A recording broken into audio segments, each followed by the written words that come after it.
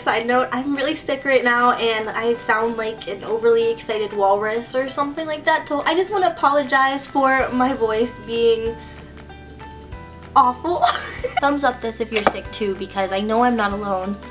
But sick people can hug each other, right? So there's no harm in giving you a big hug. Lip creams for me are basically chapstick and lipstick combined into one just to create this amazing, just, I can't even, it's just a magical godly concoction that I wear all the time. Oh my gosh though, I have this theory and I'm probably gonna sound like a crazy person that chapstick is actually completely evil and it's a scam created by like the government or aliens or Kanye West or something because I've noticed that you don't need chapstick if you don't apply chapstick. You know what I mean? Like I've only worn chapstick like nine times in my entire life on separate occasions because of the fact that when I put on the chapstick, like an hour later I felt like I needed more chapstick. So chapstick is actually like this super secret drug and I don't really know anything about drugs but it's like once you apply it you're like oh my gosh this is like the best thing ever. My lips feel so smooth mm -mm, I am on top of the world right now.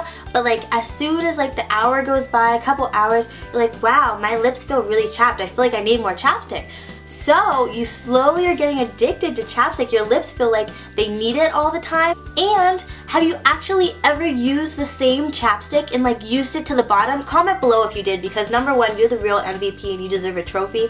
But I have not met a single person who've used a whole chapstick. So maybe they're like programmed to like run away or something. So you need to buy more chapstick. And yeah, I, I don't know. I, I can't make this stuff up. It's probably the government.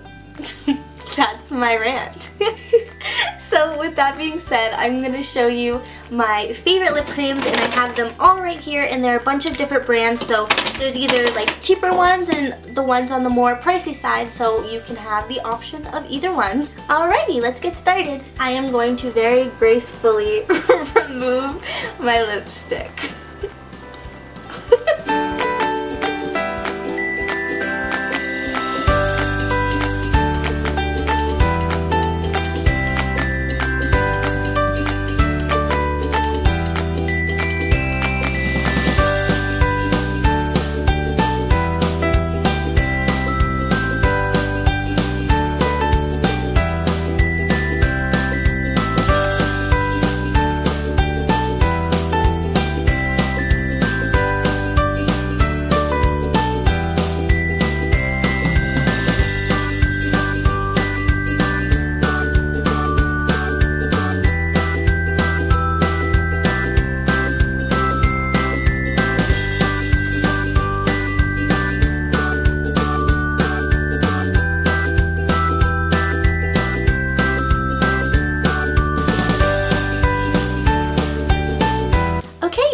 That is it. This is what I've been wearing for a very long time and what I love.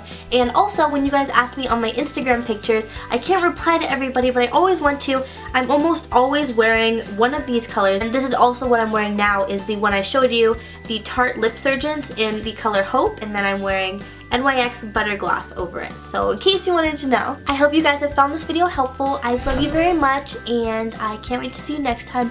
Mm, bye! Ew. Ow.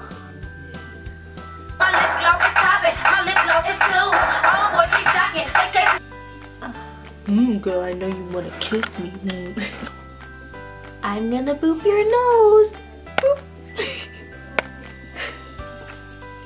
if you want, we can do a sick haul, like tissues.